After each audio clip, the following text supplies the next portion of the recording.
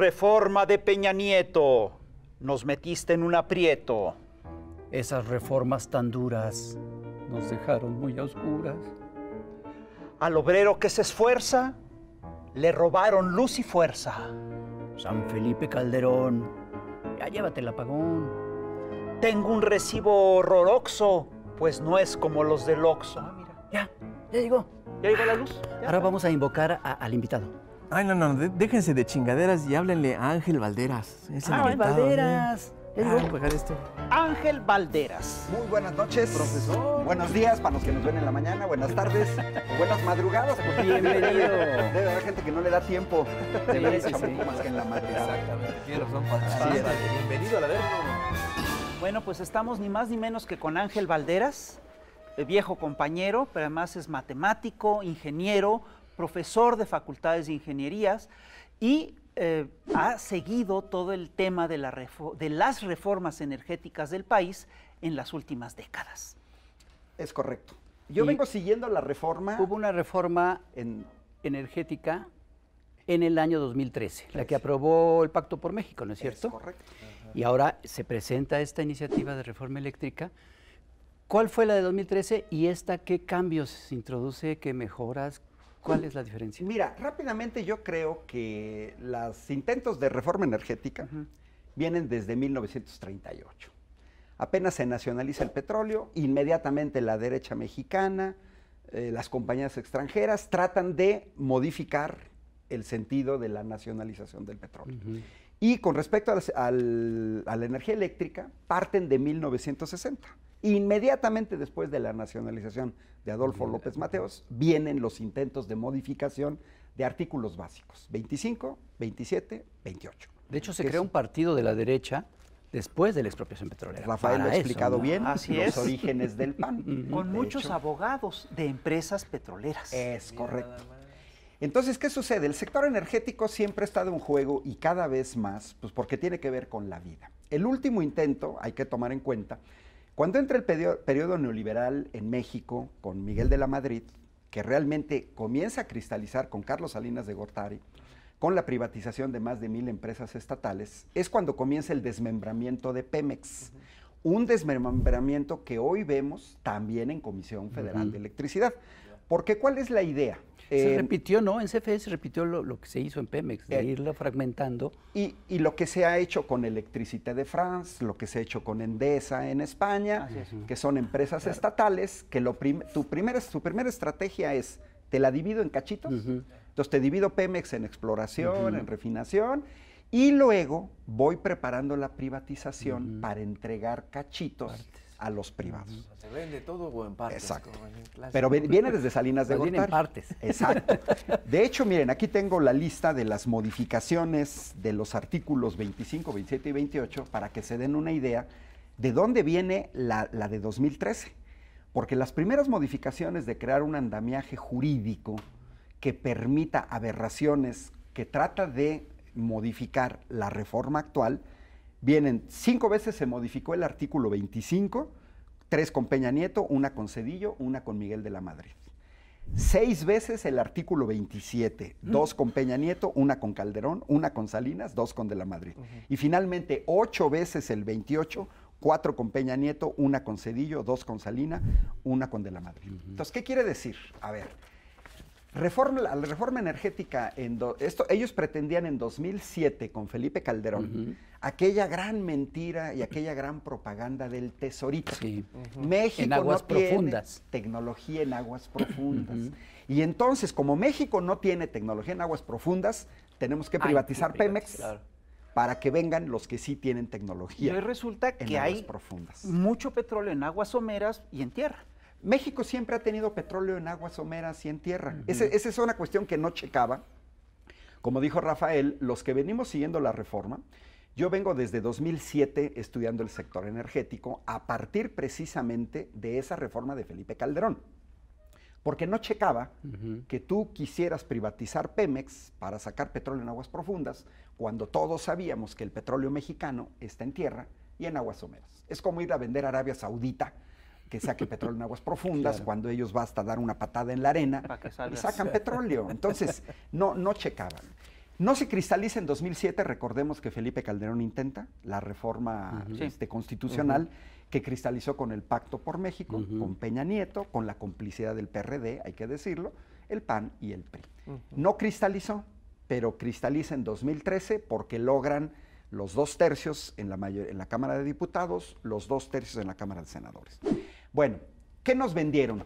Porque creo que todo el público lo puede ver. ¿Qué nos vendieron con esa reforma energética de 2013?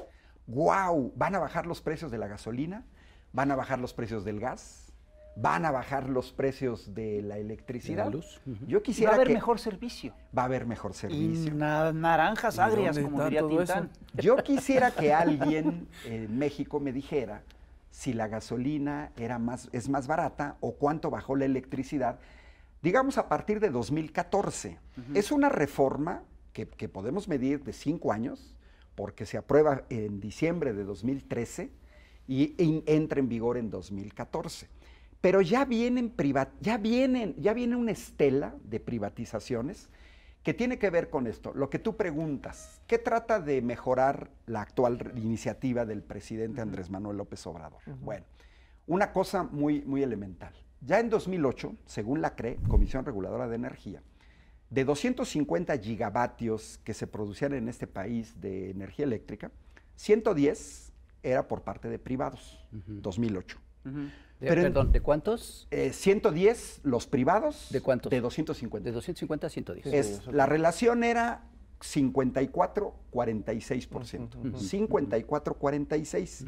en 2008. En 2008. Sí, pero en 2008 estaba vigente el artículo 27 que decía que los privados no podían Generar. generar, transmitir energía Exacto. eléctrica que tuviera como objetivo el servicio público. Entonces, ¿qué sucede? No hubo ningún juez fierro que haya salido a detener. ¿No? Hoy los que se escandalizan, las leyes se está raro. violando, nunca dijeron nada. ¿Quién sabe en dónde estaban?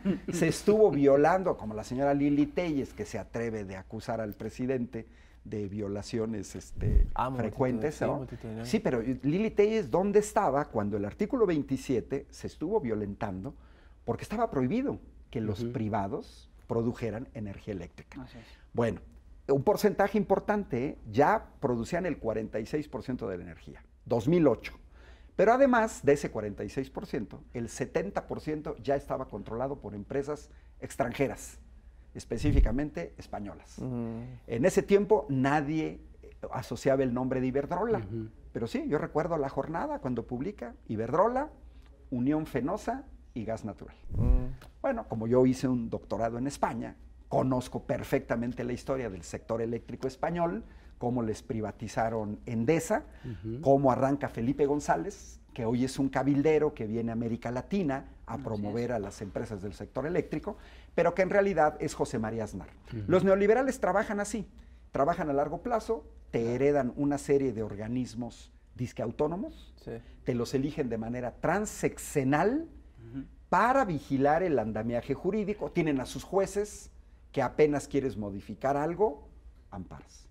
Una de las grandes distorsiones que trata de mejorar la actual iniciativa tiene que ver con eh, la intervención de privados en la generación de energía eléctrica.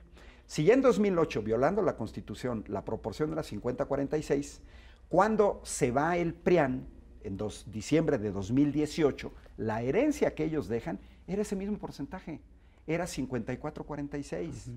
Pero fue aume- aumentando, ¿no? Ahorita vamos a ver. Porque ha ido aumentando y esta semana en la mañanera la este, secretaria de CENER, Rocío Nale, dio un dato espantoso porque esa proporción ya se modificó 38-62.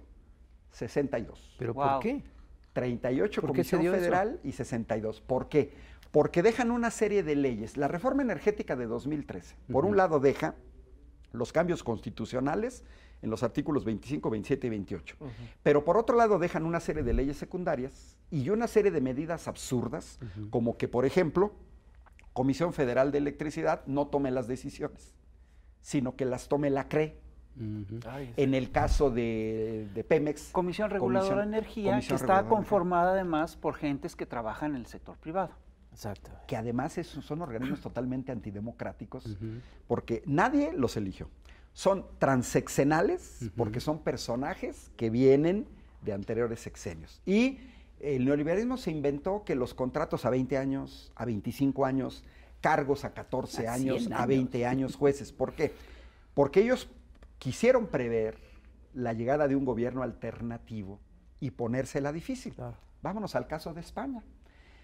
Si esta reforma actual no pasa, pues que Dios nos agarre confesados, porque yo veo a México como lo que está pasando en España.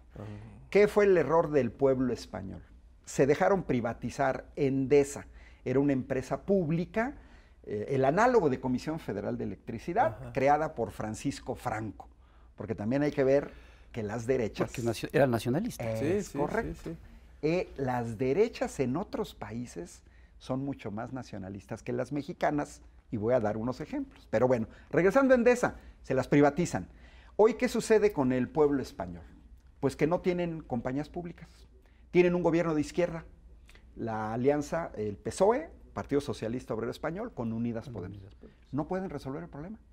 Han establecido una serie de medidas, pero no pueden. ¿Por qué? Porque perdieron totalmente el control del mercado. Y gente del PSOE también ya ahora trabaja para Iberdrola. Le- ya en España le llaman las La- llamadas las puertas, puertas giratorias, que yo creo que no sé si las inventaron en México, pero recordemos a Georgina Kessel, a a Tuelle Felipe Calderón. a A Felipe, Felipe Calderón, terminando y contratando. Cedillo, Cedillo Ah, incluso, Cedillo, con Procter Union- and Gamble, sí, con Union Union Pacific, privatizas los ferrocarriles y luego te contratas con la empresa a la que le vendiste la empresa privatizada. Eso lo hemos visto en México, incluso en bancos y en el sector privado. Bueno, ¿qué es lo que busca esta reforma? Esta reforma busca que el Estado retome el control hasta 2018. Es totalmente absurdo que se diga que esta reforma busca un monopolio. El Porque es el monopolio mismo porcentaje. Claro, exacto. Lo que propone el presidente es regresar a 54-46. Privados pueden seguir en el mercado, pueden seguir produciendo. Ah, pero los privados no quieren eso. No, quieren todo. No, ellos quieren el 0-100. ¿Y cuáles son las previsiones para 2024 por todo este andamiaje jurídico? Que el sexenio termine, a pesar de tener un gobierno que se opone, termine con un porcentaje 15-85. Es decir, 15 solamente Comisión Federal, 85 controlado por privados, que hay que decirlo, ¿eh? este es un tema de seguridad nacional, es un tema de soberanía. Soberanía. Porque ese 85 de privados hay que señalar que son principalmente extranjeros. Ya pusieron el sistema financiero de México en manos de extranjeros con los bancos. Porque hay que decirlo, ¿les molesta? Pues sí. Pero tenemos una clase empresarial en México muy chafa, no todos, hay sus horrorosas excepciones, pero ¿qué es lo que hacen? Me- se privatiza un banco, no logro administrarlo, lo vendo. ¿A quién se lo vendo? A un extranjero. Ahí está el caso de la modelo, María Zuna Aramburu Zavala, no logra con este emporio a nivel mundial del grupo modelo, lo vende a una cervecera belga y a una belga brasileña. ¿Qué sucede en México? Se pasan de belga. Se pagan Pero, pero- tenemos que ir, perdón que te interrumpamos, pero tenemos que ir a un corte. A un corte comercial, vamos a ver a la chamuca Cintia Bolio y regresamos. No se vayan porque esto está de lujo.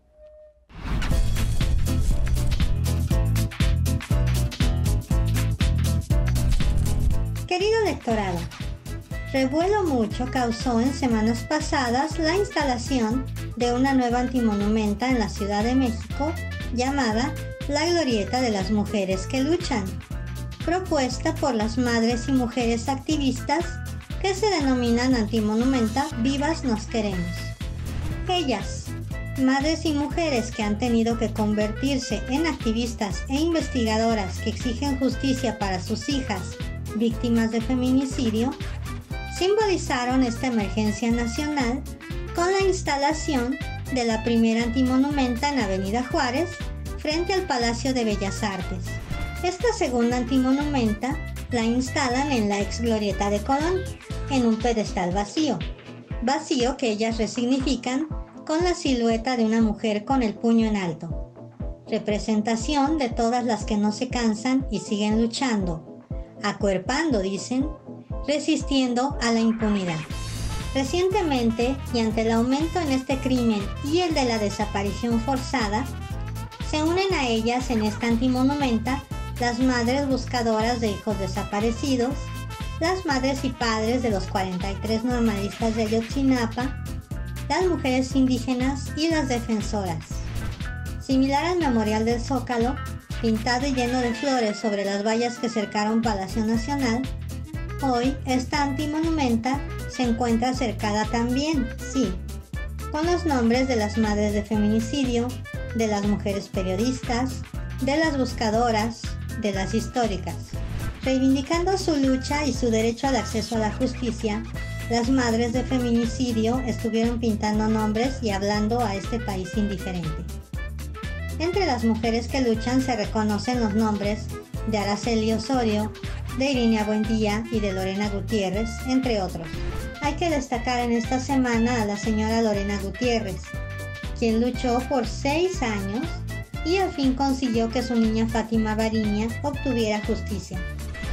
¿Quiénes, sino las madres y familias, luchan, alertan y hacen visible la urgencia de justicia en este México feminicida y violento?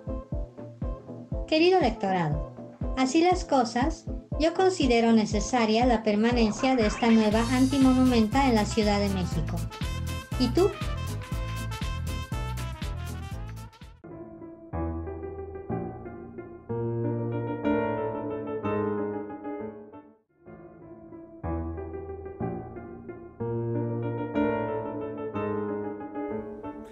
Pues ya estamos aquí de vuelta al Chamuco TV y estamos con nada más y nada menos que el maestro, profesor, catedrático este, de facultades de ingeniería, Ángel Valderas, un experto en reformas energéticas.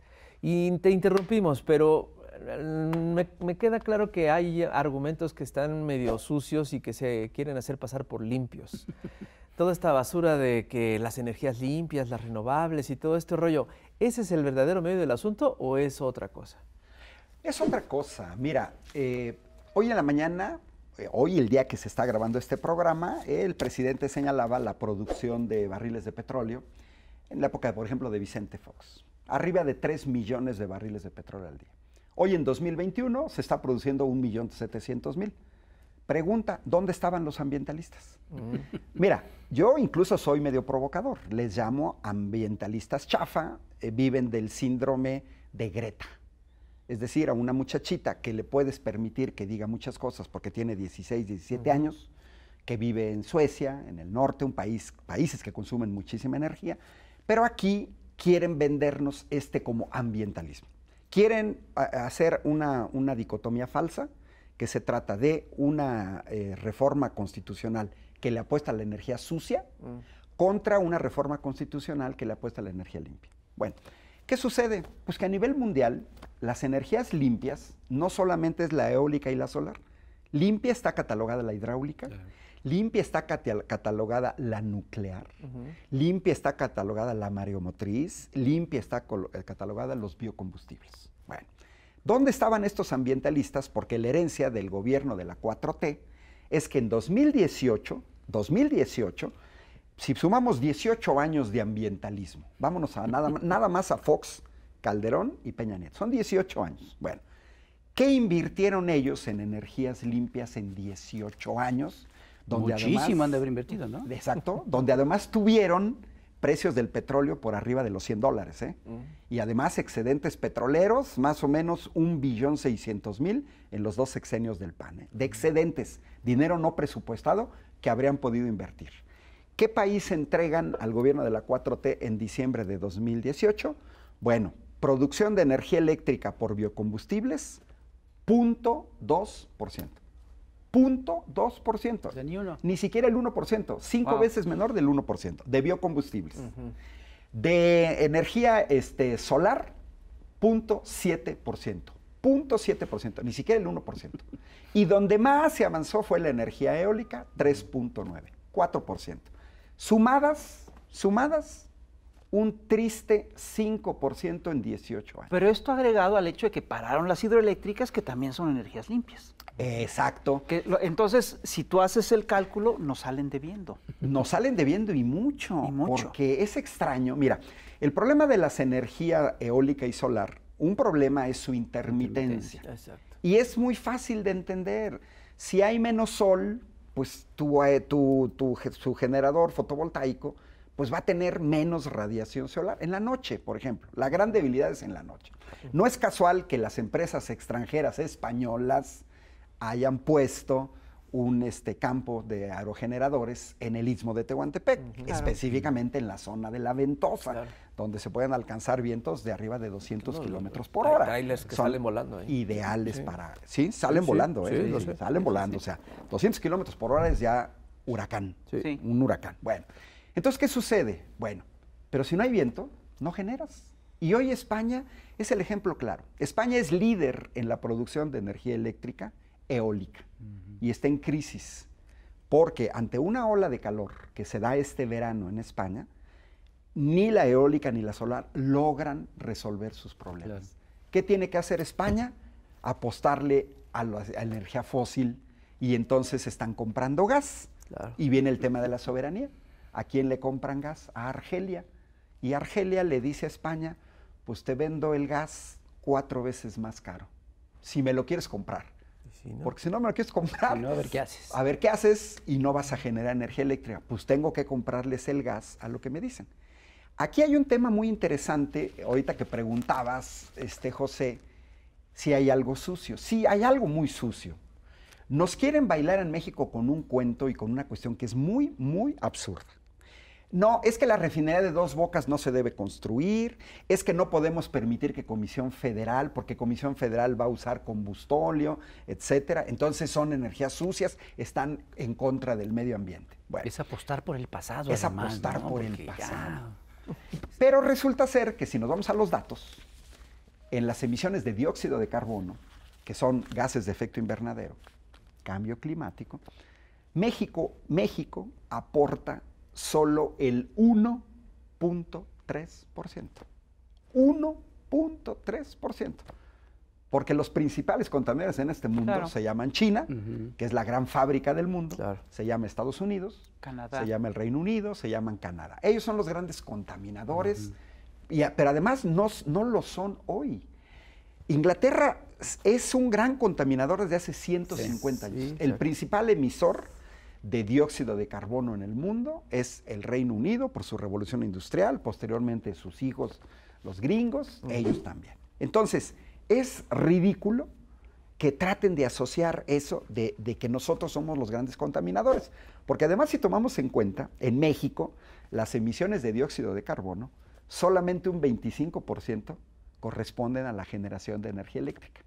Es decir, una cuarta parte del 1.3 corresponde a la generación de energía eléctrica. Entonces quieren hacer un gran escándalo De la nada. del, pues de un punto tres por, un punto tres por ciento. Miren, que me disculpen, México podría reducir a cero, a cero sus emisiones, el problema no se resuelve. No, no, no. El problema está con el otro 98.7%. Sí, pero además eh, el tema de fondo es que eh, los que, eh, primero, estas energías, la eólica y la solar, necesitan, eh, tienen, un- tienen un problema de intermitencia. Entonces necesitan suplir, cuando deja de soplar el viento, cuando deja de producirse el sol, Por esa energía, energía. se, es suplida por, este, por una generación de combustibles que es muy contaminante. Y esto va aparejado al hecho de que están deteniendo las hidroeléctricas. No necesariamente que sea contaminante, porque puedes darle el respaldo con la hidroeléctrica o con la nuclear. Miren, por ejemplo, Francia. 70% de la energía eléctrica producida en Francia viene del nuclear. Claro, hay que jugársela, ¿eh? Nuclear es nuclear. Ahí está Chernobyl, sí, sí. ahí está Three Mile Island, y bueno. Pero los franceses, por ejemplo, prefieren la nuclear a la eólica. Uy, Claro. ya deberían estar poniendo el grito en el cielo. ¿Cómo que los franceses prefieren la nuclear? Sí, a ellos no les gustan los aerogeneradores. Ellos quieren ver sus viñedos y su campaña y dicen que es contaminación visual y no quieren los aerogeneradores. Órale. Y Alemania. acá no dice nada, hasta buscan un Macron. Sí, Sí, fíjate. sí, sí, sí. Entonces, ¿qué sucede con lo que dices, Rafael? Pues que a los mexicanos nos ha costado ni más ni menos que 4 mil millones de pesos, que es el, es, que será el doble del subsidio que recibe una universidad como la mía, que tiene 30 mil estudiantes, que somos 4 mil este, profesores, 3 mil trabajadores, recibimos de subsidio 2 mil millones, eh, federal y estatal. Bueno, pues aquí estamos hablando de 4 mil millones por el respaldo. Porque entonces, si tú no generas la energía en la noche, por ejemplo la fotovoltaica, o no hay viento, la- tú no puedes, e- el sistema eléctrico, hay que, hay que tener una, una cuestión muy clara. La energía eléctrica tiene un gran problema que no tiene, por ejemplo, el agua. No podemos almacenar grandes cantidades de energía eléctrica. El agua sí. Sí. Tienes un tinaco en tu casa, una cisterna, o, o tienes una presa. Y dices, ¿para qué tengo esa agua? Para cuando no hay agua. Eso no lo puedes hacer con la energía eléctrica. Entonces tenemos un problema con las intermitentes, porque tienes que meter la energía al sistema de distribución, pero no tienes, se te colapsaría el sistema. Claro, Claro. Por eso es necesario el respaldo. claro.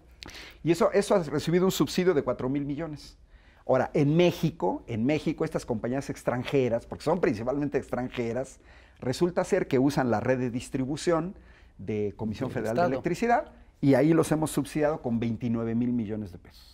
O sea, el Estado acaba subsidiando a los privados y Exacto. trabajando para ellos. Con 471 mil millones de pesos los hemos subsidiado a los privados de la reforma energética de 2013 para acá. A la vez. 500 mil millones de pesos, más que el presupuesto Wow. anual de educación, los hemos subsidiado nada más en el sector eléctrico.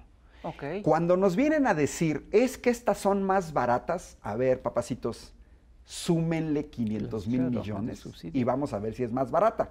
Porque una cosa es que tú generes en un campo solar, vámonos a Coahuila, vámonos a Sonora, vámonos a San Luis Potosí, donde hay mucha radiación solar, órale. Y órale, entrégale en Ciudad de México, entrégale en Acatepec, No, pues entrégale en Naucalpan. A ver, el costo tiene que ver con genero, pero también tengo que distribuir. Y no quiero pagar los costos de porteo justos. Quiero que me subsidies, te quiero pagar menos por usar ahí. Y estamos ante una paradoja increíble. Resulta ser que estas empresas privadas compiten contra Comisión Federal de Electricidad. Pero Comisión Federal debe de subsidiar. O sea, es como si Toyota, que compite contra Volkswagen, Toyota subsidiara a. Volkswagen, Volkswagen subsidiara a la Fiat, la Fiat subsidiara a Peugeot, Claro. Peugeot subsidiara a Nissan.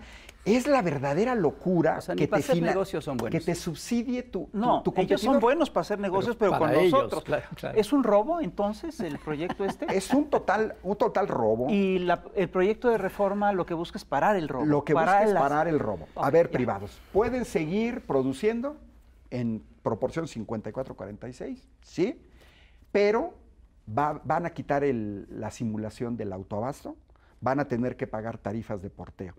Eso no es estar en contra de las energías este, limpias, absolutamente no. Pero es un dato de hecho que en el corto plazo estas energías no, no pueden sustituir a las energías tradicionales. Es una cuestión de que las empresas buscan el negocio, el Estado busca la soberanía. ¿Es correcto?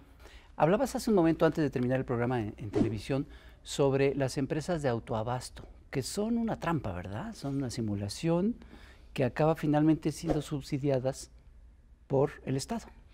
Exacto. Mira, el autoabasto se puede entender para grandes fábricas. ¿Qué quiere decir? Simplemente produzco la energía eléctrica que necesito, pongo mi planta generadora, porque una línea de montaje no se puede dar el lujo de que se te acabe la electricidad cuando estás envasando Claro. mayonesa. No puedes. Se entiende. El autoabasto es una forma de, para de apoyo al sector industrial que es muy viable y que se debe de mantener. Pero ¿cuál es el gran problema de la distorsión en México? Que viene un autoabasto simulado. Es decir, yo genero más electricidad de la que necesito y la comienzo a vender, comienzo a competir contra Comisión Federal. Es ilegal, ¿eh? Es ilegal. Es ilegal. Precisamente la reforma actual del presidente es poner fin a ese autoabasto simulado. Porque después, ¿qué es lo que hacen simplemente estas empresas? Yo genero y te convierto a ti en socio mío con un dólar. En realidad, lo que tú me vas a hacer es que me vas a comprar la electricidad que yo voy a producir de más y yo te la voy a vender a un precio más barato que Comisión Federal de Electricidad, porque, y además utilizo la- las líneas de distribución De de, GFI. de Comisión Federal y te voy a vender la electricidad más barato. Y eso explica por qué hay empresas que pagan hasta un tres veces menos que lo que paga una familia estándar. ¿Por qué? Porque es una simulación. Pero eso le ha costado al Estado, eso tiene nombre, eso le ha costado al Estado 21 mil millones de pesos. Solo el autoabasto. Entonces, eh, la propuesta es quitar el autoabasto simulado. Yo creo que el autoabasto en el sector industrial que requiere la energía eléctrica necesaria para que el aparato industrial funcione, no va a tener ningún problema. pero que ya se quite este, este autoabasto. Y hace rato yo me, me quedé con una, con una cosa que tenía que ver con lo que preguntaste, de esta cosa sucia que viene con las, con las energías. Yo creo que hay que elevar la calidad del debate. En 2013 prácticamente no se permitió. Fue un debate simulado también en 2013. Se hacían foros en la Cámara de Diputados, pero no te pelaban. Y los medios de comunicación nunca dieron apertura a informaciones contrastantes, lo que hoy sí está sucediendo. Claro. ¿Cuál es el gran problema que tenemos como humanidad? El gran problema. Ahorita, en 2021, solamente el 11% de la energía que el mundo consume viene de energías limpias, renovables, que son biocombustibles, solar, eólica. Nada más, el 11%. No es una cuestión de voluntad. No, hay problemas técnicos, científicos, tecnológicos muy difíciles de resolver. Para que se den una idea, ¿de dónde vienen los paneles solares? Hace 200 años, Becquerel en Francia es el primero que descubre que puedes transformar energía del sol en energía eléctrica. Hace 200 años, sí, pero pasaron 50 años sin que hubiera ni un solo avance es difícil. Tiene que haber equipos de investigación fuerte, fuertes inversiones para estudiar ese problema. Y los primeros paneles solares vienen de 1883. Ah, Fíjense, No sabía 130 años. Wow. Pero en 130 años esos paneles solares tenían una eficiencia del 1%. Ah, Quiere decir, ok. la radiación solar solamente un 1% la conviertes en energía eléctrica. Ah, pues no. no. pues eso a nivel comercial. Y esos no ahorita ya no sirven, ¿eh? Creo. no, o son de los mejor los que quieren instalar. Pero entonces, ¿qué sucede? Va, el, el avance científico y tecnológico es muy lento. Ya estamos más o menos en los últimos 20 años, donde se ha logrado aumentar al 3, 5%, luego el 8%, cambiando materiales, metes este, silicio, metes primero era selenio, oro, luego metes silicio, boro, y empiezas a hacer cambios, etcétera, y puedes llegar, ahorita se anda llegando al 20%. Pero ojo, no se va a llegar a más. ¿Por qué? Porque de la radiación solar, los paneles solamente pueden captar el 44% de la radiación solar. Nada más. Ya. Esa ya es una gran limitación. No podemos aprovechar el 100% de la solar, solo el 44%. Y luego, por cuestiones técnicas de los materiales, solamente puedes absorber el 70%. El 70% del 40% digas. quiere decir un 30%.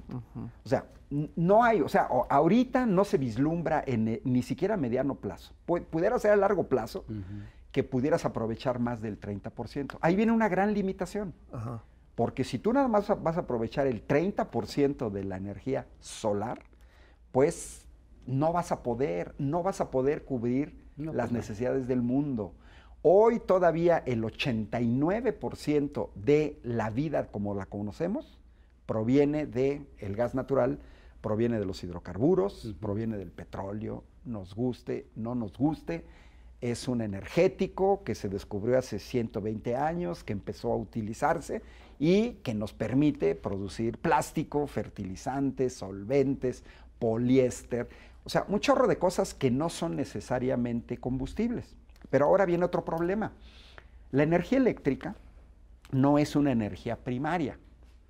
Es decir, se tiene que transformar de otro material. Entonces, a nivel mundial, el 38%, fíjense, casi el 40% de la energía eléctrica en el mundo se produce a partir de carbón, Turba, esquisto bituminoso. Pues súper contamina. Y otro 23% viene del gas natural. Entonces, un 60% de la energía requiere eso. Luego ya viene la hidráulica y luego ya viene las renovables que andan muy abajo, muy abajo, un 9%, más o menos un 9%. Tocando el tema del 9%, México eh, produce un 10% aproximadamente de energía limpia mediante energía hidráulica porque, a ver, cada país tiene sus propios recursos. Claro. Es absurdo, te- totalmente absurdo, que, lo- que los griegos, los españoles y los italianos quieran copiar la política del aceite de oliva o de las aceitunas a México. o, o que los rusos le quieran copiar la política del caviar o del esturión a México. O que los franceses le copien a México su política del vino, ¿no? ¿Por qué, por qué, por qué Francia le ha apostado al nuclear? ¿Por qué Italia es el líder en generación fotovoltaica? ¿Y por qué España en eólica? ¿Por qué Alemania combina todo? Porque no tienen hidrocarburos. Eso es natural. ¿Por qué van más adelante que el Reino Unido? Porque el Reino Unido sí tiene hidrocarburos en el Mar del Norte y lo mismo Noruega. O sea, los países que tienen energéticos, pues usan lo que tú tienes. México tiene agua. Tenemos un sureste hiper lluvioso. Sí. Es un recurso renovable. La lluvia es como el viento y como el sol. Llueve y vuelve a llover y vuelve a llover y vuelve a llover. Y ahí tienes tus presas.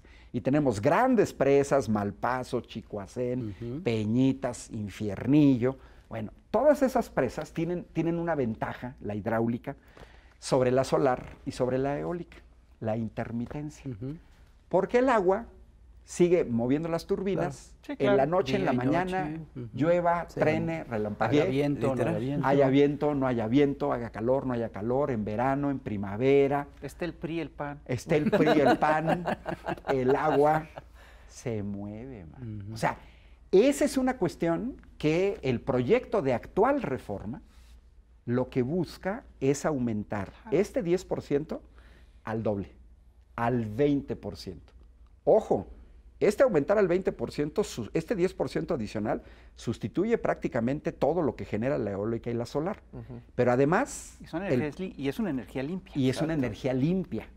Pero además el presidente ya anunciaron en Sonora la que sería la octa- el octavo campo de energía solar más grande del mundo, en Sonora. Porque tenemos, tenemos un país que tiene afortunadamente mucha radiación solar. Bueno, también tenemos zonas de viento. Y también este, se, se debe de apostar a las zonas de viento, pero de la reforma energética de 2013 entregó los mejores campos eólicos del istmo de Tehuantepec a extranjeros, a españoles. Y entonces, generando energía eléctrica con el agua, es una energía limpia, renovable y no tiene el problema de la intermitencia. Se tiene que combinar. A ver, aquí debe ser bien claro, porque eso es otra propuesta de la actual reforma.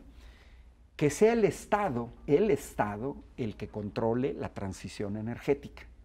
Y yo coincido con Rafael. A mí me parece que el punto más importante de discusión es entre soberanía y entre quién va a controlar. Es que eso es lo que les enchila, que sea el Estado. Es- Pues sí, les enchila que no sea el pueden Estado. hacer negocio. Entonces, miren, de aquí traje una, yo lo, lo presento siempre, está el video, porque es muy interesante. Bueno, pero antes del video. El, el grave problema que tenemos es la dependencia energética del exterior. Sí, claro. Bueno. Increíble. Pues más somos un país que produce petróleo. ¿Por qué, por qué, por qué importamos gasolinas? Sí, a mí explícame. bárbaro, ¿Por qué si producimos petróleo importamos gasolinas? A mí explíquenmelo. Miren, en México el umbral de dependencia energética anda de alrededor de 8.200 petajoules, que quiere decir, con eso tú no dependes del exterior. Bueno, pues sorprendámonos, hasta 2013 México todavía tenía independencia energética. O sea, a partir de la reforma lo perdimos. Exacto. De a partir de que la... No, y lo fuimos perdiendo Nos cada la vez más. enchufaron por otro lado. Mira, de 2014 Pues es un proyecto de colonización. empieza a bajar. Pues sí. Exacto. Pues sí. Porque bajamos ya de, de los, ocho- de los 8.200 petajoules, a bajamos en 2018, cuando se va Peña Nieto, bajamos a 6.500 aproximadamente. O sea, es una bajada en caída, así como bajó la balanza comercial petrolera, Sí, claro. que la tenemos en superávit. Ahora, esto es, esto es extremadamente relevante. Aquí tengo, no me gusta citarlo, pero lo tengo que citar No, no te preocupes. al señor Mariano Rajoy. Y les Bueno, podemos poner no, la pues, liga no. del video para que lo escuchemos en persona. Mariano Rajoy, Partido Popular, socios del PAN, ¿no? Sí. Bueno, Lukoil, empresa rusa, quiere adquirir Repsol, conocida en México, Ajá. 2008. Sí, claro. Y dice el señor Mariano Rajoy, no se puede poner nuestro petróleo, nuestro gas, ni nuestra energía en manos de los rusos. Eso nos convertiría en un país de quinta división. La sea, sí. derecha española. Sí, claro, pero es que porque están defendiendo España. Están defendiendo Sí. España. La derecha española es nacionalista. Cuando Electricité de France quiere adquirir Endesa, manda una OPA, le llaman OPA hostil, opción de compra por acciones hostil, quieren comprar Endesa, su CFE, ¡pum! Inmediatamente un- todo un grupo de políticos españoles de izquierda y derecha dicen no, no la vendan. Hay un segundo intento de la empresa alemana de energía eléctrica, E.ON, que también lanza una OPA sobre Endesa para adquirirla. Y en ese caso, los empresarios del sector energético español, Iberdrola, Unión Fenosa, Gas Natural, Repsol, dicen, no, no, no, nos tenemos que juntar para que no nos controle la electricidad los alemanes. Y un último ejemplo, en Estados Unidos, cuando CNOC, China National Offshore Company, quiere adquirir un local, que es la era la tercera petrolera norteamericana, diputados y senadores demócratas y republicanos dijeron no, No, se vende claro. a los chinos, pero vean la razón, ¿eh? por cuestiones de seguridad nacional.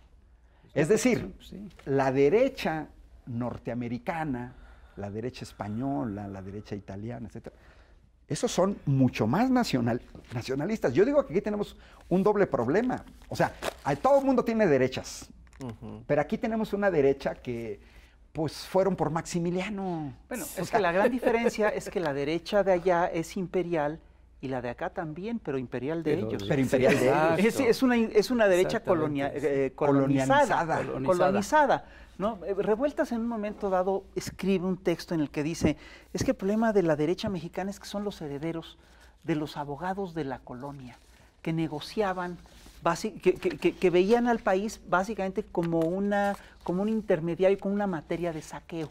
Es correcto. Y eso es lo que creo que sigue vigente. Sí, Que ahora la derecha dice, ¿qué es eso de soberanía? Eso es algo muy abstracto, eso es algo que ya no funciona, es algo arcaico. Pues, Cuando la derecha de todos estos países que dices precisamente es por Sí, Porque es el de debate en el que no quieren estar. Exactamente. Y ahora, Sí. el, el tema de la soberanía es un tema de vida o muerte. Es un tema de vida o muerte, ¿sabes? Sobre todo también por los energéticos. Mira, e- es, se siente feo hablar de, de la gente que fallece, pero a principios de 2021 fallecen 70 personas en Texas de hipotermia. Los que hemos tenido la oportunidad de vivir en países del norte, sabemos lo que es vivir bajo temperaturas bajo cero, en invierno. Y cero, dos grados, los mexicanos que viven en la Sierra de Durango, ¿no? 30 grados bajo cero. Todos los mexicanos que viven de Mexicali a Nuevo Laredo, gran calor en verano, que requiere aire acondicionado, que requiere energía eléctrica, pero también calefacción en invierno. Claro. Como es Texas y como también es mucha parte de Europa. Sí. Mucha parte de Europa tienen, cal- tienen calor tórrido, que además no es seco, es húmedo. Sí. Eso implica que para que puedas este, Funcionar. fu- funcionar, necesitas. Mira, quien ha estado en La Paz, Baja California, Tabasco, Chiapas, cuando hace calor, es, es prácticamente lo mismo. Tú te levantas a las 9 de la mañana y traes la camisa ya sudada. Necesitas el aire acondicionado por una cuestión de sobrevivencia. Ahora, ¿qué les pasó a los españoles y qué busca la reforma actual? Que no terminemos como España. Porque una vez que a ellos les privatizan y entran las empresas privadas y son las que controlan todo, te controlan el entregar electricidad, pero también te controlan la transición energética, de la cual hay que señalarle que no hay un camino único. Cada quien utiliza los recursos que tiene. Brasil tiene mucha agua, Canadá tiene mucha agua, pues usa esos recursos. Islandia tiene la geotermia, bueno, pues utiliza sus recursos. Los que tenemos petróleo, bueno, pues utilizamos los recursos para financiar la transición energética necesaria. Bueno, ¿y cuál es la situación actual en España? ¿Qué es lo que, lo que el actual presidente no quiere para México? Aquí sí en el corto plazo, ¿eh? que sean los privados los que te controlen la- el servicio de la energía eléctrica. ¿Por qué? Porque una vez que ellos controlen el servicio, van a poner las tarifas que quieran. Miren, Como pasó con el último recibo de España de la semana pasada, dicen que fue el más alto en su historia. Impagable. ¿y sabes qué? 500% en Sí, unos sí, ¿Y sabes qué, Rapé? Esa frase la han dicho los españoles como 40 veces del verano para Sí, acá. exactamente. Hoy es el precio Sí, más histórico. alto de la historia. Bueno, sí, hasta hoy, porque mañana vuelven a vuelve, decir es el récord precio más alto. En tres años ha aumentado cinco veces el precio. En tres años, cinco veces. Quiere decir que si tú pagabas 12 euros, por ejemplo, al mes, hoy estás pagando 60 euros Ah, al mes, vida. 1.200 al mes. Un consumo, un consumo típico en México que pudiera ser alrededor de unos 500 pesos, ahorita los españoles ya están pagando alrededor de 2.500, unas siete veces más. Y está en crisis esa sociedad. ¿Por qué? Porque otra cosa que hace el neoliberalismo, que es una falacia, se inventan la disque competencia. Regresando al autoabasto, decía Rocío Nale. A ver, hay, hay un... eh, em, mira, una cosa es lo deseable y otra cosa es lo posible. Todo el andamiaje jurídico que deja el neoliberalismo dejan unas leyes totalmente para privilegiar a los privados. Por ejemplo, el despacho de energía. Tú me vas a vender energía solar, tú eólica, tú hidráulica, este me va a vender de combustóleo, etc. Te la voy a comprar. Bueno. Y tú me dices, vas a entrar a una subasta, que es increíble, ¿eh? es una subasta diaria. O sea, no es que nosotros podamos pensar en el precio de la electricidad a un año, un mes que Sí, te... no. Una fábrica no puede planear, entra un año. Entonces tú ofreces un precio, tú otro, tú otro y otro. Y se van con el que ofertó el menor precio. Entonces yo gané y ya dices, bueno, pero al final del día, y, y no es este, metáfora, al final de ese día, tú que ofertaste un precio más caro, y tú, y tú, todos, todos reciben el que ofertó el precio más caro. Y entonces simplemente, pues yo digo, ahora José Hernández va a ofertar el más caro. Mañana tú, mañana tú, mañana yo, y luego sí. Y entonces todos es ganar, ganar. Ahora sí, es ganar, ganar para los privados. Sí, es un libre mercado simulado. Un libre mercado. Y es en realidad un, eh, vamos, un- una reunión de monopolios que acuerdan los precios. Exacto. Entonces, miren, ¿qué sucede? Pues que cuando se vas al libre mercado, yo aquí traigo mis tarifas españolas, donde te dicen, pero es que mira, gas de energy te da una tarifa, PVC otra, Iberdrola otra, Ola Luz otra, Repsol otra, Naturgy otra, Total Energies otra, Bulb otra. Y te dan el precio por kilowatt hora. Bueno, pero es la simulación y es el, el oligopolio. ¿Por qué? Es lo que estamos viendo en México desde que nos cayeron con la reforma energética de 2013 las gasolineras extranjeras.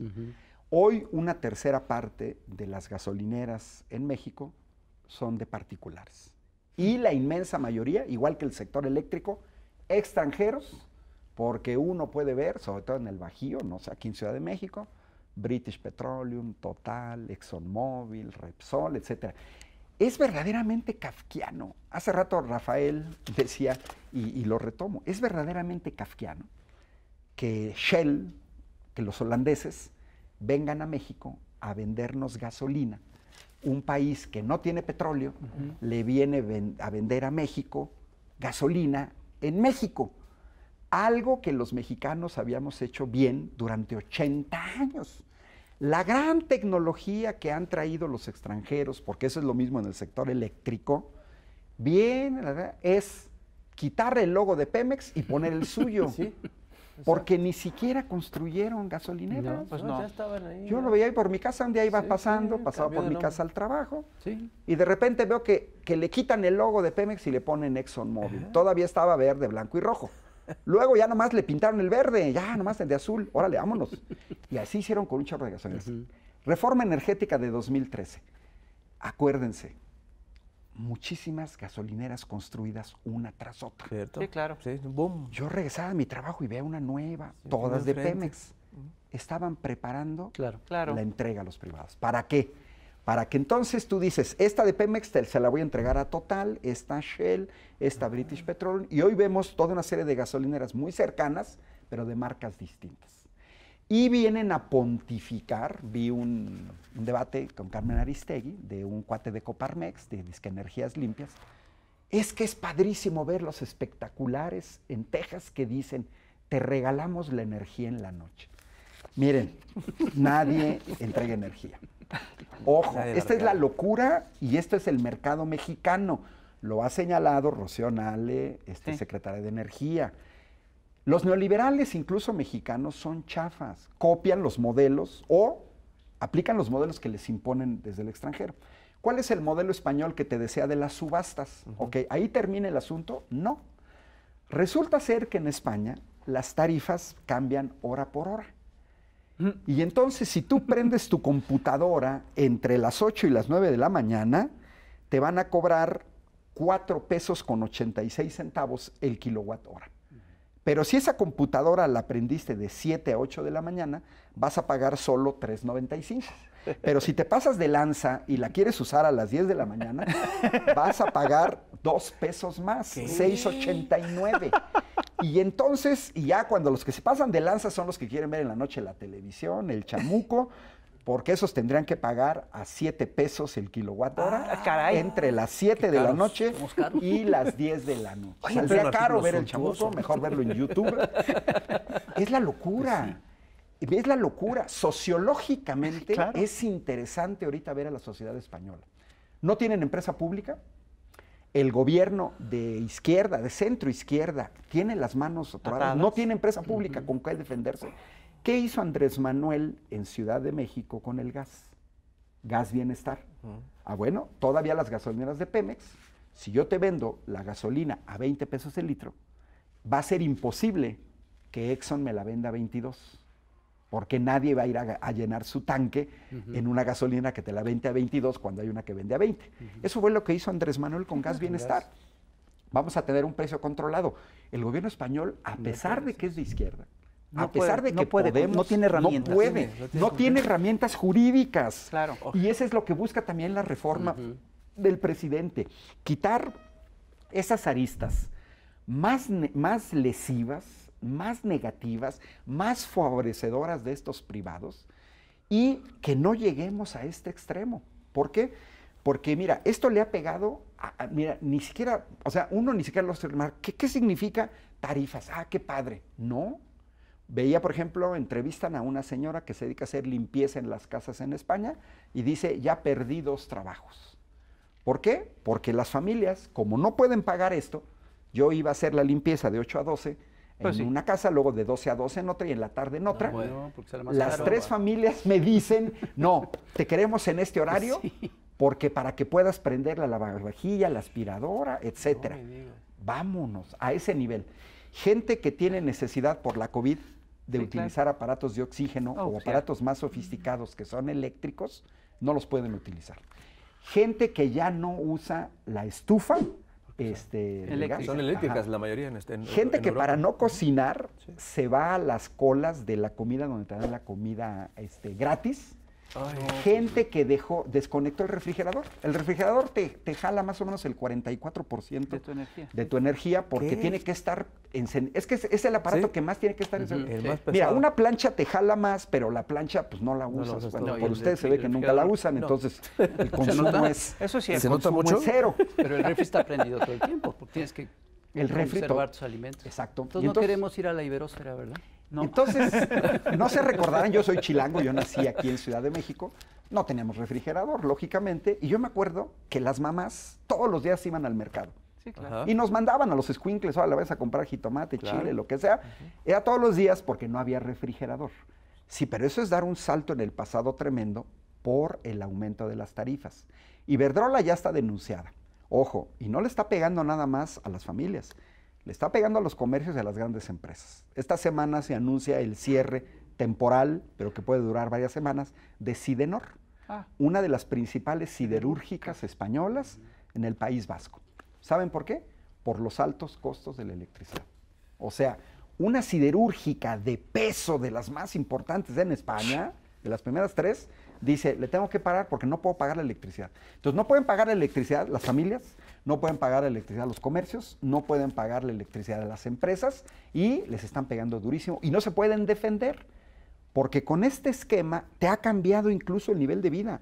Hay gente que verdaderamente ¿eh? se levanta en la madrugada a hacer tareas que habitualmente hacía en la mañana, porque en la mañana te cobran el doble. Hay niñas en España que tienen que salir a tomar sus clases en internet, robándose la señal Wi-Fi de algún bar, de algún negocio, y entonces ves a los niñitos, a las niñitas sentadas en la escalera, en la banqueta, con su tabletita, jalando energía, jalando el Wi-Fi de acá, porque en sus familias ya no pueden pagar ahí. Ahora, es criminal porque el costo de la energía eléctrica en España es justo en las horas en las que más se necesita. Claro. Empieza a costar du- cos- muchísimo a partir de las 6 de la tarde hasta las 10 de la noche. Y en la mañana empieza a costar ya muy fuerte desde las 8 de la mañana hasta las 2 de la tarde. Es a la hora que todo el mundo trabaja, que todo el mundo estudia, Sí. que están funcionando las escuelas. ¿Qué busca esta reforma? Que no caigamos en este monopolio, porque en México todavía sería peor. Yo me pregunto, ¿quiénes son las compañías involucradas aquí? Las mismas que están en México. No respetan ni a su propio pueblo. Iberdrola amenazó con irse de España si, le re- es si la regulaban. Es una cosa increíble. Y son capaces de irse.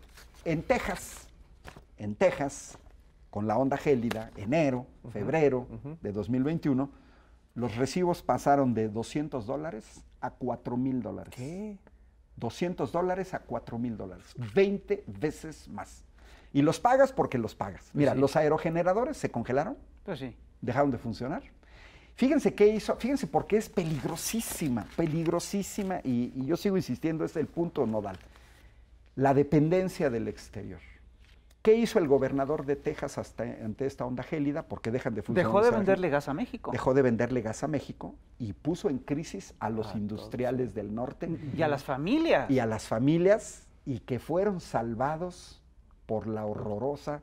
Comisión Federal de Electricidad que tuvo que generar la electricidad con combustóleo para que esos empresarios no siguieran perdiendo millones de pesos. Cada fábrica que se detiene son millones de pesos perdidos al día.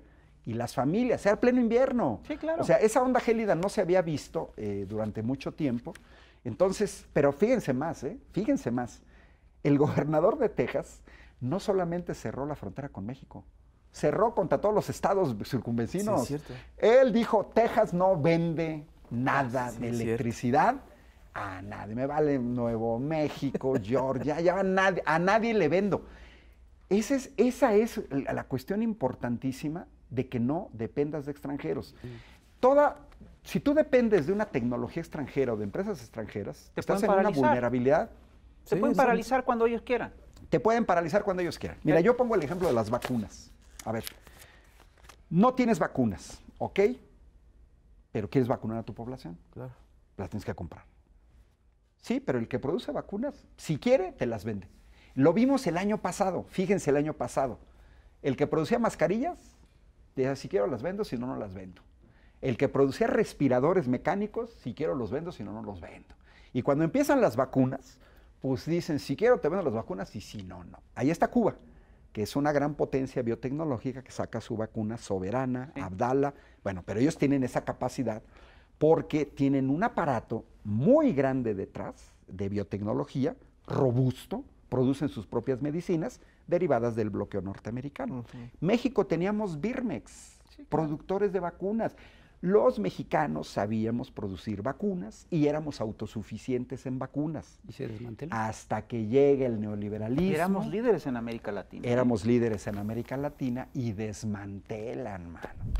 Los este, ventiladores mecánicos, hoy construidos en México, gracias a este gobierno, de ahí lo vemos en el caso de CIDESI, y aquí cae otra falacia. Es que Andrés Manuel no quiere a los empresarios. No, a ver, espérense. Chéquense cómo se construyeron estos ventiladores mecánicos que hoy México está ya exportando a Centroamérica. Primero ya están cubriendo nuestras necesidades y se hicieron en México en tiempo récord, en cinco meses. Un proyecto que podría llevarte dos o tres años. Se hicieron en México con un centro de investigación mexicano, CIDESI, Centro de Investigación y Desarrollo en Ingeniería, hay una sede en Querétaro, con Safran. Safran es una empresa francesa del sector aeronáutico que hay en- está en el clúster aeronáutico de Querétaro, que puso a su disposición una línea de Producción. de- de producción para los ventiladores mecánicos. Safran. Y luego hay otra empresa privada, porque se, ge- se generaron dos. Entonces, regresando a la dependencia de electricidad, te cierran la llave. Todo. O sea, a ver, Te bajan- si, te si ya desde el exterior te controlo, te cierro la llave. Y otro peligro, ¿eh? ¿Qué hace Iberdrola? Ah, ¿me quieres cancelar el contrato? Te demando en tribunales internacionales. Es patético, pero es serio. Yo quisiera que alguien me dijera, y he, estado en varios debates con gente que está en contra de la reforma y se quedan callados cuando yo les pregunto, denme el nombre de las grandes compañías de generación de energía eléctrica mexicanas que estén generando energía eólica y solar. Mexicanas. Y díganme dónde tienen sus campos de producción fuera de México. La respuesta es un silencio Pues sí. total. Cero. Porque no hay ninguna compañía mexicana. La inversión para, para estas, estas, estas tecnologías es muy alta. La puede hacer el Estado o las grandes transnacionales. Pero yo no veo, no veo a empresarios mexicanos invirtiendo seriamente en ciencia, en tecnología, en energía. Su modelo Pero de si negocios... estaban en las primeras listas de Forbes. Ándale. Pero ¿Cómo ¿sabes cuál es? dinero para eso? ¿Sabes cuál es la tristeza de este país? Su modelo de negocios, esto lo dice un amigo mío que es empresario, me dice, mira, yo ya estoy cansado que me inviten a reuniones con empresarios. Y cuando le pregunto, oiga, usted, ¿cuál es su empresa? No, pues soy el concesionario de la Honda. Ok. Dice, Pues, ah, pues eso no es ser empresario. Claro que no. Mi amigo se dedica a la construcción de puentes y es muy bueno. Y dice, yo soy empresario. Tengo mi empresa de construcción de puentes, edificios, diseño, Wow. calculo. Estos no. Estos compran y venden. Porque compro Honda y los vendo en México. Claro. Compro celulares Samsung y los vendo en México. Compro telecomputadoras y las vendo en México. Ese es su modelo de negocio. Entonces, y me quedo con, con una pizcachita, porque es una verdadera pizcachita lo que se queda.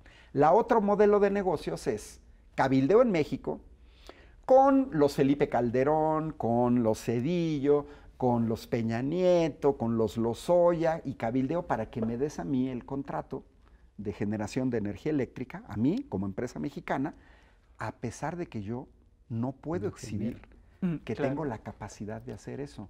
No creo que ninguna empresa mexicana pueda exhibir que tiene capacidad de, plan- de plantear un, un campo de Claro. generación de energía fotovoltaica serio. No la tienen. Entonces, ¿qué es lo que hacen? Ellos ganan el contrato, pero inmediatamente lo subcontratan al revés con las empresas extranjeras como Enel, ¿no? Este, y ellos son los que se hacen cargo. ¿Por qué? Porque ellos son los que tienen la tecnología, ellos son los que saben hacer las cosas. Y entonces estos, lo que tú dijiste, estos abogados de la colonia. Sí, claro. O sea, yo nada más funjo como intermediario para, para ganar un contrato, porque conozco las leyes, porque conozco al juez Fierro, que te va a parar un amparo, ¿no? Que además, fíjate, ahorita que, que me acordé de- del, del juez, fíjense nada más la situación. Los entes reguladores ni son autónomos, son transaccionales, son antidemocráticos. Fíjense qué gravedad en este país, y esa es la razón por la que Andrés Manuel pone una, bueno, intenta una reforma constitucional. Él lo señaló a partir de que el juez Fierro y otro juez empiezan a parar con amparos a la ley de la industria eléctrica, que era una ley secundaria que no requiere la mayoría constitucional y fue aprobada.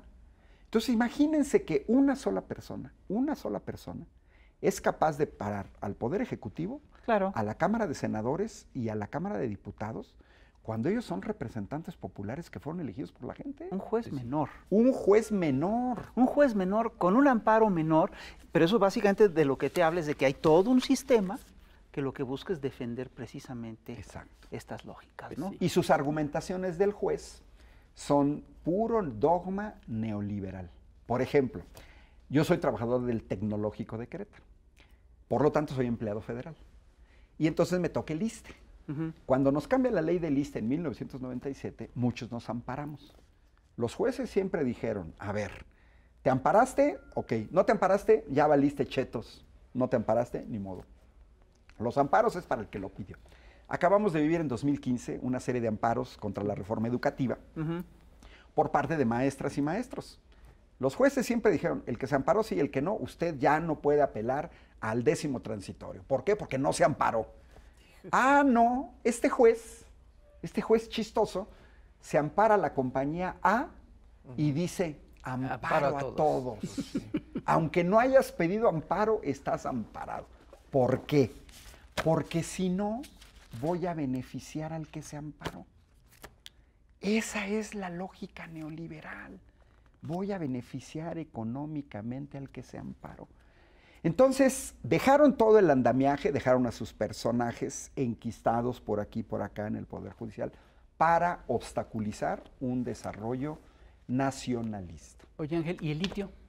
El litio, mira, qué bueno que tocas también el litio. Ahí venimos otra vez atrás. Mira, el litio, eh, para que vean, yo insisto mucho que estos ambientalistas chafas, si quieren ser serios, oye, Claudia Sheinbaum es doctora en Sí, claro. ingeniería energética, sabe de qué se trata, Rocío Nal es ingeniera química, sabe de qué se trata. Yo los invitaría a todos esos pseudoambientalistas, sobre todo los que son más jóvenes, están en bachillerato, inscríbanse a las facultades de ingeniería. Se van a dar cuenta de una cosa. Primero, muchos no van a pasar el examen de admisión. Se requiere tener pues una buena base de bachillerato, de matemáticas, física, principalmente. Científica y tecnológica. Científica y tecnológica, ok. Y luego, aunque pasen, la mayor parte de ellos no van a poder en el primer semestre. Ah, pero sí piden el litio. A ver, espérense. ¿Por qué señalé lo de los paneles solares, que es una tecnología que trae 200 años y avanza muy lentamente y luego ya puede avanzar más, más rápidamente, pero no en el corto plazo? Ese es el caso del litio, no en el corto plazo. ¿Dónde nace el litio? De una crisis energética, el estudio del litio, de una crisis energética. ¿Cuál? Años 70. Por la guerra árabe-israelí. Los árabes, en represalia que Europa Occidental y Estados Unidos Apoyaron apoyan a Israel. Israel, cierran la llave del petróleo. Y en pleno invierno, ¿eh? Y paralizan gran parte de Europa Occidental. No había camiones, no había coches. Hay fotos, que esa sería bien padre hacer un- un- unas caricaturas sobre eso. La gente regresó a andar a caballo en las ciudades.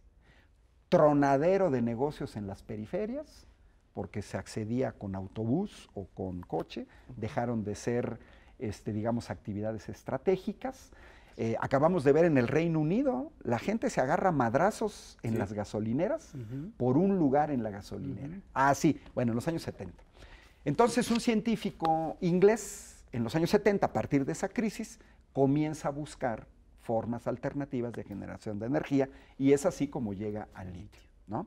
Estamos hablando de 1970. Pero pasan 10 años de, de todo un equipo de investigación, gente fuerte, etcétera, hasta que después en Estados Unidos se comienza a mejorar la tecnología. Básicamente, cuánta energía puedes generar con el litio. Y digamos que ya lo más cercano viene todavía cinco años después, o sea, ya van 15 años después, con un japonés que finalmente, por los materiales que se utilizan, cómo los acomodas, etcétera, logras ya una eficiencia que pueda ser explotada a nivel comercial. ¿Cuándo? 1995. Ya de ahí a que, a que te empiecen a llegar las baterías ion litio, por ejemplo, yo toda mi vida he usado computadoras portátiles y lo conozco muy bien. En todas las primeras computadoras, las baterías eran muy chafitas. ¿En qué sentido?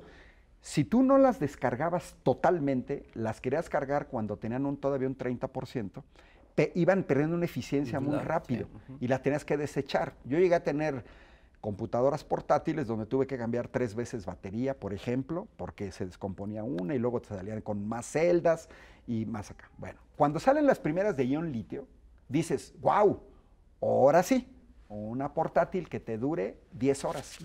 Sí, pero no 100 horas, 10. Nadie tiene un celular que lo cargues un lunes y te dure el otro lunes, no. O sea, tampoco hay que, hay que magnificar esto. Entonces el litio, digamos, comienza ya a explotarse comercialmente a partir del año 2000. ¿Resuelve un problema? Sí. Estamos al nivel de mm, la energía casera de las oficinas con bajo consumo de energía, pero todavía no puedes resolver problemas para aviones o para barcos. Eh, los barcos utilizan el fuel oil, que ahora sí es de lo más sucio, del Sí, sí, último sí. producto de la refinación. Son los barcos con los grandes contenedores. Esto nos debe de llevar a una reflexión de cuál es tu estilo de vida. Tú no puedes pedir, gente de Coparmex o del Consejo Coordinador Empresarial, no, el ambiente, y luego comprar inmediatamente por Amazon y pretender que Amazon te entregue el aparato que compraste al día siguiente, porque ese aparato va a viajar en avión, va a utilizar turbocina y luego va a llegar a un aeropuerto y para llegar a un aeropuerto necesita un camión que va a utilizar diésel, Claro. etcétera. Todavía no, en el corto plazo, todavía no, no, no se puede resolver el problema de almacenar grandes cantidades de energía. Bueno, señalamos entonces, mira, el litio es el futuro, sí. En un futuro inmediato, no. Todavía va a faltar mucho. Eh, está resolviendo ya problemas, por ejemplo, de darle energía a un automóvil eléctrico para que tengas una autonomía parecida a la que te da un tanque lleno de gasolina. 400, 500 kilómetros. Ya sería bueno. Porque ese es otro problema. Todavía para que tú implementes un cambio tecnológico tan fuerte en un solo aspecto, automóviles, todavía va a pasar. Una vez veía un documental eh, alemán de, de, un dilema de una familia alemana que iban a ir de vacaciones al sur de Italia, pero no sabían si llevarse el coche de gasolina o el coche eléctrico, mm. porque en Alemania garantizaban las estaciones de servicio con toma eléctrica. De ahí para allá era o le llegas con eso o, búscate en un mapa y desvíate de tu camino para ver dónde puedes encontrar la carga eléctrica. Bueno, alcanzaron a llegar y luego tuvieron que dejar cargado toda la noche. Con el aumento de tarifas de cinco veces más, yo quisiera ver quién carga su automóvil eléctrico en su casa. Pues pues Porque pues también ahí viene el problema. Ahora, van los automóviles, pero hay los camiones, las camionetas de 3 toneladas, los trailers de 30 toneladas, los grandes camiones de la industria minera, los helicópteros, los aviones, las lanchas que van por los camarones, este, y los grandes barcos que transportan contenedores. ¿El yate de Azcárraga? Los yates del yate de, Azcárraga, el yate de Salinas Pliego, los yates, los yates de, sí, de, Javier Duarte. sí, de Javier Duarte, los jets privados. Entonces, ¿qué sucede? ¿Es el camino correcto? Sí, pero hay otro problema.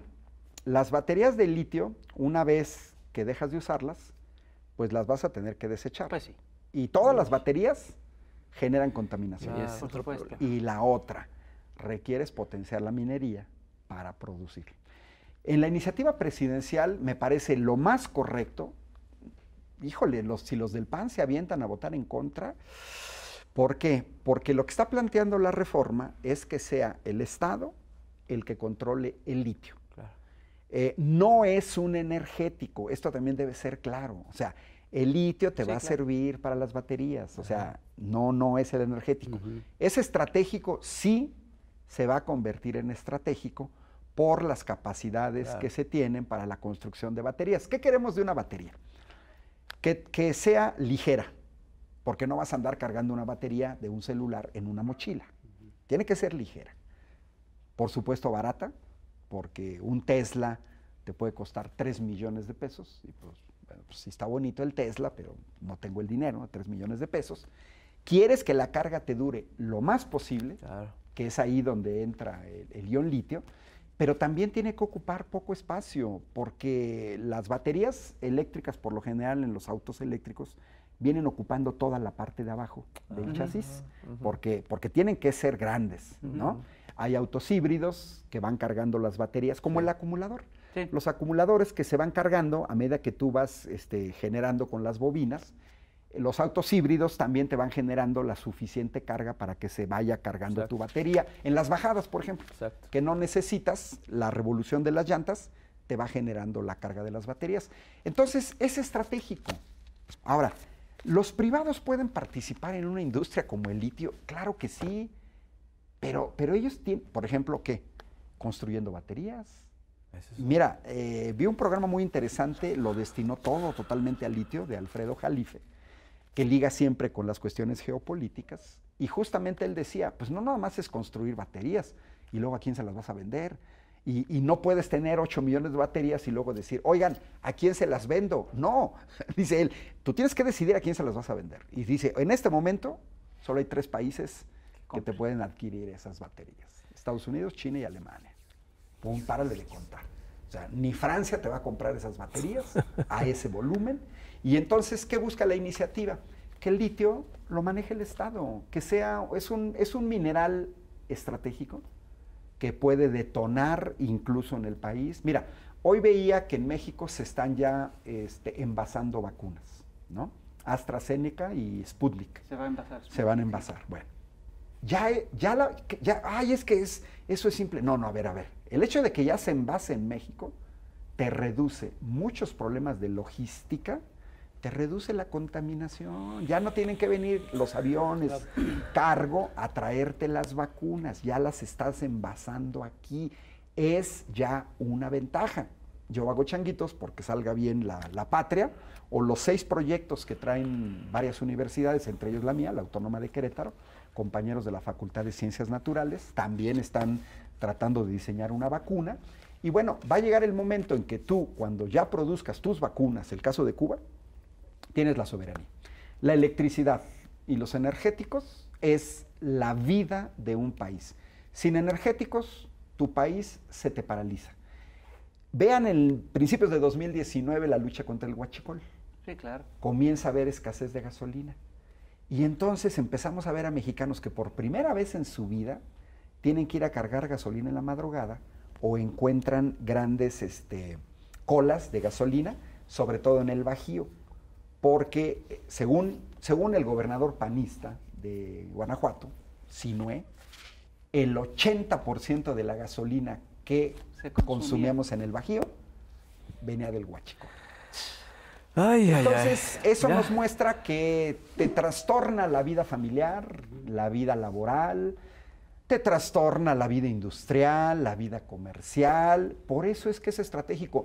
No es una mercancía cualquiera. No. No, es la Eso vida. es lo que no entienden estos grupos que se oponen. Por eso, como, como decimos, sin maíz no hay país, Ajá, sin energía no hay soberanía. exacto. Ándale, ese es bueno. Y, pues, energía no hay Ángel- soberanía. Y la otra cosa es esta, yo sí creo que tenemos que exigirle a nuestros diputados y senadores que aprueben la reforma energética. Sí. Y tenemos que movilizarnos para defender esa reforma energética.